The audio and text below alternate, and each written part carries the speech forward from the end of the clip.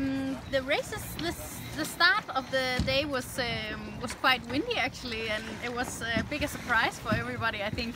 Um, and um, you know, people put on clothes so they could hike.